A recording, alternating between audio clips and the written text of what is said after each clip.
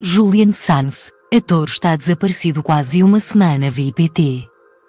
Faz seis dias desde que o ator britânico Julian Sanz foi visto pela última vez. Na passada sexta-feira, dia 13 de janeiro, o ator de 65 anos foi dado como desaparecido pela família depois de ir fazer uma caminhada por Monte San Antonio, a norte de Los Angeles, na Califórnia.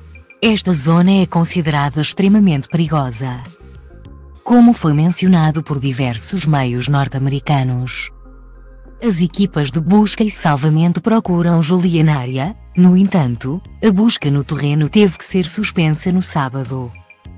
Dia 14, devido a fortes tempestades e riscos de avalanche, e não foram capazes de retomar desde então.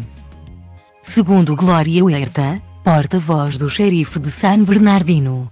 Helicópteros e drones estão a ser usados para procurar o ator, e irão retomar a busca no solo assim que possível, disseram as autoridades. Segundo a BBC, na semana passada, uma mulher, mãe de quatro filhos, descrita como uma alpinista experiente, morreu depois de deslizar pelo Monte Baldi, outro nome dado ao Monte San Antonio. O ator de 65 anos começou a sua carreira em 1982 e ganhou fama ao aparecer como protagonista ao lado de Helena Bonham Carter em quarto com vista sobre a cidade. Além disso, apareceu em séries como 24 e Smallville.